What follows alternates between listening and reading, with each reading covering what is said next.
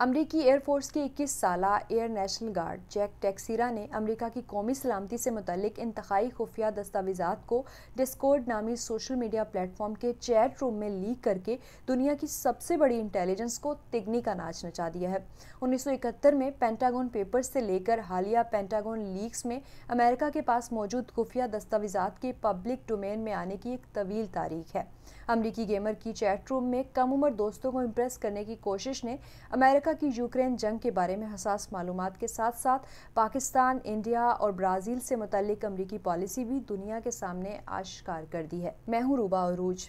नाजरीन, अमरीकी air national guard के रुकन जैक टैक्सीरा की जानब से इंतहाई खुफिया मालूम लीक करके अमरीकी सिक्योरिटी ब्रीच की मिसाल को ये पहली नहीं है। इससे पहले भी अमेरिका के इंतहाई खुफिया डॉक्यूमेंट्स मंजर आम पे आ चुके हैं।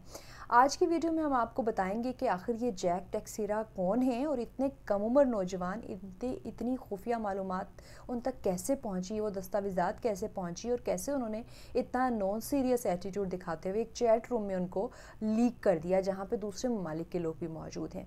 और साथ ही साथ ये भी देखेंगे कि आखिर इस, इन मालूम में ऐसी क्या इन्फॉर्मेशन है जिससे पूरी दुनिया में एक तहलका मच गया है और ये भी जानने की कोशिश करेंगे कि इससे पहले अमेरिका के पेंटागन विकी लीक्स और दिगर जो दस्तावेज़ात लीक हुई, उससे उनकी सिक्योरिटी पे क्या असर पड़ा। तो आइए सबसे पहले जानते हैं कि आखिर ये 21 साल नौजवान जैक टेक्सीरा हैं कौन? जैक का ख़ानदान खुद भी फ़ौज से वाबस्ता रहा है। उनके सुतेले वालिद चौंतीस साल की सर्विस के बाद इसी यूनिट से बतौर मास्टर सार्जेंट रिटायर हुए, जिसमें जैक तैनात रहे, यानी 102 इंटेलिजेंस विंग। अमेरिका के कुछ मीडिया आउटलेट्स के मुताबिक उनकी वालदा भी एक गैर सरकारी तंजीम से वाबस्ता थी, जो कि रिटायर्ड फौजियों की देखभाल का काम करती थी। जैक बेसिकली अमरीकी एयर नेशनल गार्ड के रुकन होने के साथ साथ एक अमरीकी platform social media platform Discord के एक चैट रूम के सरबरा भी थे। इस चैट रूम को 2020 में बनाया गया और इसका नाम था ठग शेखर सेंट्रल। और इसमें तकरीबन 30 अरकान थे जिनका ताल्लुक मुख्तलिफ़ ममालिक से था और ये सब 21 साल से कम उम्र थे। यानी तमाम अरकान जो है वो जैक से छोटे थे। जब ये सब मालूम लीक हुई और मामला जो है वो सिक्योरिटी हुकाम तक पहुँचा तो उनके साथियों से बात करने पर जो कि उस चैट रूम के रुकन थे अमरीकी सिक्योरिटी एजेंसीज को पता चला कि जैक बेसिकली हमेशा असले के बारे में बात करते रहते थे और उसके साथ साथ वो वहाँ मौजूद लोगों को इम्प्रेस भी करना चाहते थे। अक्सर उनकी तरफ़ से ये कहा जाता था कि वो एक ऐसी जगह पे काम करते हैं जहाँ पे मोबाइल फ़ोन्स ले जाने की इजाज़त नहीं है और इस तरीके से वो एक्स्ट्रा ऑर्डनरी कुछ अपने आप को साबित करना चाहते थे। इससे पहले वो सिर्फ़ चैट के ज़रिए बातें बताया करते थे, लेकिन जब लोगों ने उन पर यकीन नहीं किया तो फिर जो है वो उन्होंने कुछ खुफिया फाइल्स की बाकायदा तस्वीरें वहाँ पर शेयर करना शुरू कर दी। और लोगों का इंटरेस्ट ना लेने की वजह से एक रुकन ने ये भी बताया कि वो अक्सर कहते थे कि अगर आप लोगों को इन चीज़ों में इंटरेस्ट नहीं है तो मैं अपनी मालूम यहाँ शेयर करना बंद कर दूँगा। यूँ तो ये एक निजी ऑनलाइन ग्रुप था जहाँ पे दोस्तों में अमूमन गपशप होती थी, मज़ाक किया जाता था, असले के बारे में बात होती थी वीडियो गेम्स के बारे में बात होती थी, लेकिन यही ग्रुप वजह बना अमेरिका की खुफिया तरीन मालूम पूरी दुनिया तक पहुँचाने का।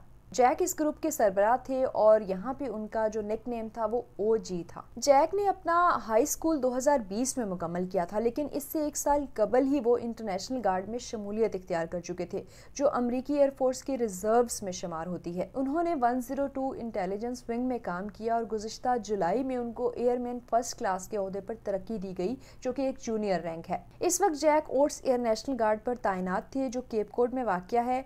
उनके सर्विस रिकॉर्ड के मुताबिक उनका सरकारी अहदा cyber transport systems journeyman था। अमरीकी फिजाइया की वेबसाइट के मुताबिक साइबर ट्रांसपोर्ट सिस्टम्स पर काम करने वाले एहलकार वसी आलमी मवासलाती निज़ाम के जिम्मेदार होते हैं, जो तमाम तर अमरीकी यूनिट्स को एक दूसरे से रबते में रखते हैं, चाहे वो किसी भी मुल्क में मौजूद हों। जैक के रिकॉर्ड के मुताबिक सर्विस के दौरान उन्होंने कभी किसी दूसरे मुल्क में काम नहीं किया था। अब जब उन्हें खुफिया मालूम के लीक होने के बाद गिरफ़्तार कर लिया गया है तो अमेरिका के अटॉर्नी जनरल मैक गार्लैंड के मुताबिक उन पर खुफिया मालूम लीक करने पर फर्द जुर्म आयद की जाएगी, जो कि जासूसी एक्ट के तहत एक जुर्म है। जैक की गिरफ्तारी एक अहम पेशरफ है, लेकिन अमरीकी सिक्योरिटी एजेंसीज और महकमा इंसाफ अभी भी ये जाँचने की कोशिश कर रहा है कि आखिर एक चैट रूम से जो इन्फॉर्मेशन है वो पूरी दुनिया तक कैसे फैल गई। टैक्सेरिया की गिरफ्तारी के बावजूद भी ये सवाल भी उठाया जा रहा है कि आखिर एक मामूली एम्प्लॉय जो है वो इतनी बड़ी मालूम पूरी दुनिया तक कैसे फैला सकता है? तो ये भी एक शक व शुबा ज़ाहिर किया जाता है कि कहीं टैक्सेरा को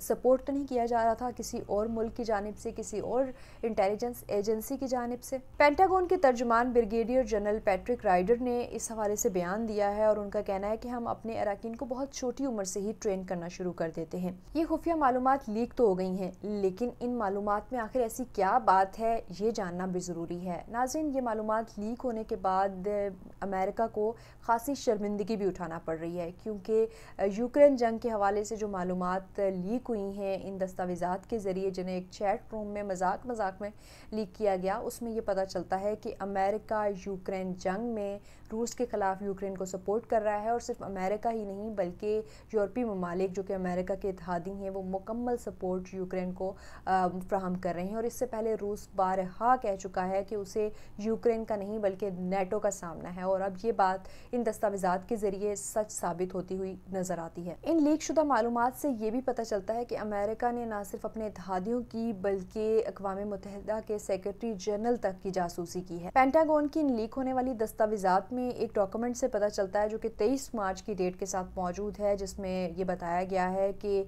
यूक्रेन में जो बरतानवी अफवाज हैं, वो मौजूद हैं। इस डॉक्यूमेंट से ये तो पता नहीं चल रहा कि कितनी अफवाज मौजूद है, उनकी तादाद क्या है और कहाँ कहाँ से वो ताल्लुक़ रखती हैं, लेकिन एक अंदाज़ा ज़रूर लगाया जा सकता है कि अफवाज मौजूद हैं और मज़ीद जो अफवाज हैं, वो तैयार की जा रही हैं यूक्रेन की मदद करने के लिए। इन दस्तावेज़ात में यूक्रेन में जो फ़िज़ाई हमलों के ज़रिए मुश्किल आ रही हैं, उनका भी ज़िक्र किया गया है। यूक्रेन के पास मज़ाइल कम पड़ रहे हैं, इस पर भी बात की गई है और इवन एक स्लाइड के मुताबिक रूस के दो लाख तीस हज़ार फौजी हलाक या जख्मी हो चुके हैं, जबकि यूक्रेन के हलाक और जख्मी होने वाले फौजियों की तादाद एक लाख इकतीस हज़ार बताई गई है। इन्हीं लीक शुदा दस्तावेजात में ये भी पता चलता है कि मिस्र भी यूक्रेन की जंग में कुछ किरदार अदा कर रहा है, और रिपोर्ट्स के मुताबिक एक ऐसा डॉक्यूमेंट भी मिला है जिससे मालूम होता है कि मिस्र रूस को खुफिया तौर पर चालीस हज़ार रॉकेट्स फ्राहम करने जा रहा है। ताहम डॉक्यूमेंट्स में ये चीज़ साबित नहीं हुई कि क्या ये रॉकेट्स प्रोवाइड कर दिए गए हैं, और इस दस्तावेज़ में ये भी बात हो रही थी कि आखिर रूस के इतने एहसानात हैं तो मिस्र को उसका पे बैक करना चाहिए। लेकिन ये चीज़ साबित नहीं हो रही थी आखिर किस एहसान की बात की जा रही है। इन्हीं लीक शुदा दस्तावेजात में जनूबी कोरिया का भी यूक्रेन और रूस वॉर में क्या किरदार है, इस पर भी चीज़ें खुलकर सामने आई हैं। ये वो तमाम मालूम जो कि अमेरिका ने जासूसी करके हासिल की थी उन्हीं के एक एम्प्लॉय ने जो है वो उसको चैट रूम में लीक कर दिया और जनूबी कोरिया बेसिकली जनूबी कोरिया के बारे में ये इन्फॉर्मेशन सामने आई है कि जनूबी कोरिया यूक्रेन को असला भेजने के हवाले से हिचकिचाहट महसूस कर रहा है क्योंकि कहीं ना कहीं उसका रूस की तरफ़ झुकाव है। दस्तावेजात से ये बात भी सामने आई है कि अमेरिका ने खुफिया तौर पर जनूबी कोरिया के आला लेवल के जो सिक्योरिटी मशीरान हैं, उनकी गुफ्तु टेप रिकॉर्ड की है और उससे ये पता चला है कि वो आपस में डिस्कस कर रहे हैं कि हमें दुनिया को ये भी नहीं बताना कि अमेरिका का दबाव मौजूद है और हमने अपनी जो पॉलिसी बना रखी है कि हमें किसी जंग ज़दा मुल्क को असला फ्राहम नहीं करना, उस पर भी अमल दरामद करना है। तो ये सारी गुफ्तु जो है वो अमेरिका ने टेप की थी जो कि इन दस्तावेज़ा के ज़रिए लीक होने के बाद सामने आ गई है। इन लीक्स के बाद जहाँ पर अमेरिका की साइबर सिक्योरिटी पर सवाल उठ रहे हैं, वहाँ ही उन तमाम ममालिक की जो इन्फॉर्मेशन अमेरिका रिकॉर्ड करता था, उनकी भी अवाम में और उनके लोगों में भी गमो गुस्सा पाया जाता है कि आखिर इतना अली सतह के अहदेदारान की गुफ्तु अमेरिका तक कैसे पहुँच गई? पेंटागन लीक्स 2023 में चीन के बारे में भी चीज़ें मौजूद हैं। इन लीक्स में ये दावा किया गया है कि अमेरिका को इल्म हुआ कि चीन ने फरवरी में एक तजुर्बाती मिज़ाइल हाइपरसोनिक ग्लाइड व्हीकल का तजुर्बा किया था। दस्तावेजात के मुताबिक ये मिज़ाइल 12 मिनट में 2100 किलोमीटर का फासला तय कर सकता है। रिपोर्ट्स के मुताबिक ये तजर्बाती मिज़ाइल अमेरिका के मिज़ाइल दिफाई निज़ाम को भी शिकस्त देने की सलाहियत का हामिल है। इन डॉक्यूमेंट्स के लीक होने की वजह से इस तरह के बहुत से चौंका देने वाले इंकशाफात मौजूद हैं और उसके बाद ये सवाल उठाया जा रहा है कि आखिर जैक टेक्सीरा जैसे नौजवान को एयरफोर्स में जगह कैसे मिल गई? क्या उसका कोई साइकोलॉजिकल कोई टेस्ट नहीं हुआ था? क्योंकि इससे पहले भी रिकॉर्ड पे चीज़ें मौजूद हैं कि वो हमेशा पुरतशद बातें करता रहता था, असले के बारे में बात करता था। टेक्सिरा ने तीन अलग अलग मौक़ों पर आतिशी असले के लिए दरख्वास्तें दे रखी थी और सबसे पहली दरख्वास्त 2018 की थी, जब वो की कम उम्र था। दस्तावेजात से ये भी पता चलता है कि जैक टेक्सिरा को हाई स्कूल से उस वक्त मअतल किया गया था, जब एक हम जमात ने उससे मोलोटोफ कॉकटेल समेत हथियारों और स्कूल में बंदूकों और नस्ल परस्ताना धमकियों के बारे में बातें सुनी थी। इन बयान पर जब स्कूल वालों ने पूछगछ की तो उसने कहा कि मेरी ये बातें तो वीडियो गेम के हवाले से थी। नाजिन, यहाँ ये जानना भी ज़रूरी है कि क्या ये पहली मरतबा हुआ है कि अमेरिका की साइबर सिक्योरिटी चैलेंज हुई है और अपने ही एक एम्प्लॉय ने बहुत खुफिया मालूम लीक कर दी हैं? तो ऐसा नहीं है। उन्नीस सौ इकहत्तर के पेंटागन लीक से लेकर और आज की पेंटागन 2023 लीक्स के बाद बहुत सी ऐसी इंफॉर्मेशन थी जो कि अमेरिका पब्लिक को नहीं दिखाना चाहता था, लेकिन लीक्स के ज़रिए वो मंजर आम पर आ गई। खुफिया दस्तावेजात के लीक होने पर अमरीकी तारीख के पाँच अदवार मौजूद हैं। अमेरिका की खुफिया दस्तावेजात लीक होने की तारीख में सबसे पहला नंबर आता है उन्नीस सौ इकहत्तर की पेंटागन लीक्स पे। सरकारी तौर पर इसे वियतनाम टास्क फोर्स दफ्तर की रिपोर्ट के तौर पर भी जाना जाता है। इस रिपोर्ट के लीक होने से ये मवाद सामने आया है कि अमेरिका अपनी आवाम से वियतनाम जंग के हवाले से झूठ बोल रहा है। हकीकी मैदान में उसे शिकस्त का सामना है और हुकाम को जंग की जीत के बारे में शदीद शक शुबात मौजूद हैं और आवाम को दानिस्ता तौर पर इन हकाइक को जानने से दूर रखा जा रहा है। ये लीक अमरीकी सदर रिचर्ड नैक्सन की सदारत के दौरान हुई, लेकिन जब इन्हें फ़ाइल किया गया तो वो इकतदार में मौजूद नहीं थे। दूसरी बड़ी जो लीक्स हैं अमरीकी तारीख में, वो विकी लीक्स के नाम से जानी जाती आइसलैंड की गैर सरकारी तंजीम की जानब से विकी लीक्स शाये की गई, जिसमें अमरीकी सिक्योरिटी के तकरीबन लाखों सफ़ात पर मुश्तमिल इंफॉर्मेशन शामिल थी। इन लीक्स में फौजी रिपोर्ट्स और सफारती रवाबित के बारे में बहुत कुछ शामिल था। इन रिपोर्ट्स से पता चला कि अमेरिका अपने कैदियों के साथ क्या सलूक रवा रखे हुए है। हुकूमती रिकॉर्ड में इराक और अफ़गानिस्तान में कैदियों पर तशद अमरीकी फौजियों के हाथों शहरियों के कत्ल और दिगर ममालिक के साथ अमरीकी हुकूमत के ताल्लुक के बारे में तफसीत शामिल थी। विकी लीक्स बाराक ओबामा की हुकूमत के लिए एक बड़ा धचका था क्योंकि उन्हें अपनी आवाम को यकीन दिलाना कि वो इंसानी हकूकत की बात करते हैं तो इस तरह का कुछ नहीं किया जा रहा कि वो कैदियों पर मुजालिम करें। तो खासा मुश्किल हुआ इस सिचुएशन में अमेरिका को हैंडल करना। विकी लीक्स के बानी जोलियन असांज ने मीनिंग के फ्राहम करदा मवाद को शाये किया था। असांज को बरतानी हुकाम ने कैद कर रखा है और अमेरिका के हवाले किए जाने के मुंतजर हैं। अमरीकी दस्तावेजात की लीक होने की तारीख में अब बारी आती है सोनोडान लीक्स की। अमरीकी नेशनल सिक्योरिटी एजेंसी के मुलाजम थे एडवर्ड सनोडन जिन्होंने इंतहाई खुफिया मालूम लीक की और इन मालूम से पता चलता है कि किस तरह से अमेरिका जो है वो अपने ही इतिहादियों की, अपने ही दोस्त ममालिक की खुफिया रिकॉर्डिंग करता है।